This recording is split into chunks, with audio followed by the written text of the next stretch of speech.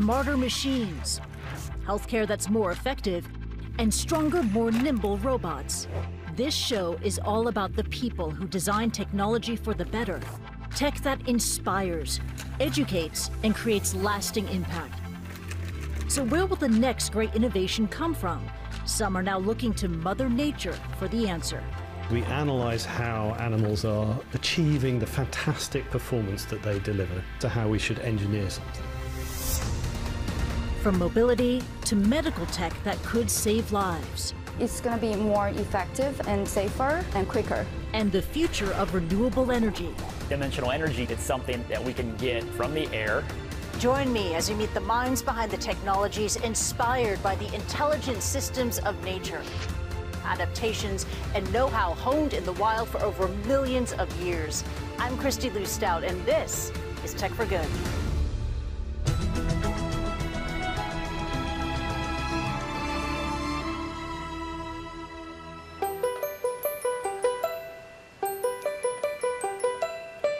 This is Ron, a barn owl being rehabilitated at Kadoorie Farm and Botanic Garden in Hong Kong, which you might be surprised to learn is three quarters countryside and home to an abundance of biodiversity. Ron is considered a raptor, a bird that captures live prey. He has long, broad wings and special feathers which help him hunt for prey with optimized speed and stealth.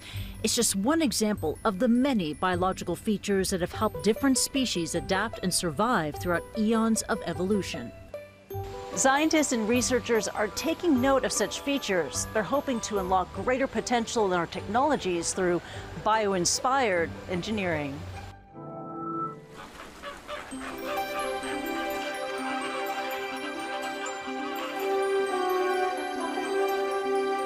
What I really love about flying is the way the air flows around the shapes of the wings. It's that pattern of movement and that flow that I think is really interesting. It's very clear that animals have evolved over time to require more and more intelligence to cope with the aerial environment. Adrian Thomas is a professor of biomechanics at Oxford University. He uses his lovely morning commute not only to relax, but also to research.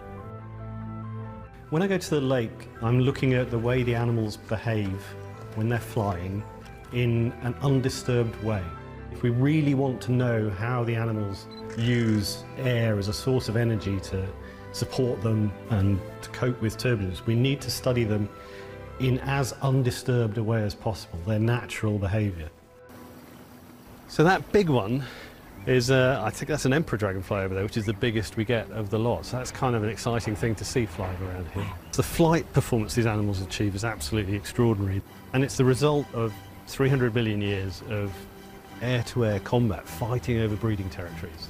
The result of that is they've got this astonishing performance. So when they go out to do things like feed, they're fantastically over-engineered and they catch prey all the time in a way that no other animal does. It was nature's sublime engineering performance that gave Thomas an idea. In 2015, he co-founded Animal Dynamics Limited. Animal Dynamics is a spin-out from Oxford University, comes out of my research at the Oxford Animal Flight Group, where we were working on the fundamentals of aerodynamics, control and stability in animal flight. A variety of different skating vehicles. The idea is that animal dynamics looks to nature for inspiration to improve engineering designs in a variety of vehicles and systems. The company's first vehicle was the Skeeter, a flopping winged microdrone based on the biomechanics of the dragonfly. We wanted to do four wings because the dragonflies can glide, but they can also hover and accelerate in all directions. They can fly in really strong wind in turbulent conditions and can cope with those real-world difficult environments. Animal Dynamics isn't limiting its innovations to just the sky. They've also found opportunities to improve the robotics used underwater. Flapping wings, we've got a nicely fixed control system. The big advantage of Raydrive, which is our flapping underwater vehicle, is that it can operate more efficiently than a propeller driven vehicle, which means less pollution. It can also operate in horrible, weedy, cluttered environments where you just cannot take anything with a propeller drive. So at the moment, if telecommunications cables run from the UK to Europe, if they break deep sea, they have to send down divers. And it's a dull, dirty, dangerous, cold, nasty job, and really high risk, that we could do with a machine. The Raydrive is immune to those problems.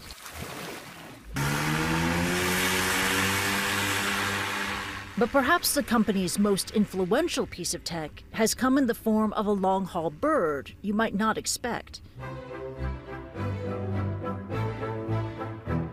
For years, I've been doing aerodynamic design on paraglider wings, and the first one I did that with was I took an albatross aerofoil, put it in a paraglider that I then flew to win the paragliding national championships.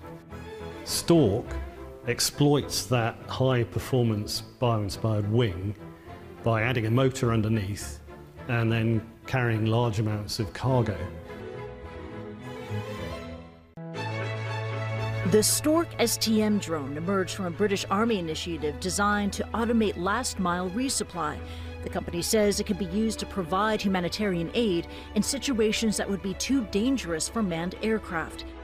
Thomas is confident his inventions will provide major benefits to civilian society, aiding the environment and potentially saving lives. Our tech is a tech for good because our vehicles all fly or swim with higher efficiency than any of the current systems. The big advantage of efficient vehicles is lower fuel consumption, so lower emissions. We're doing something good about global climate change.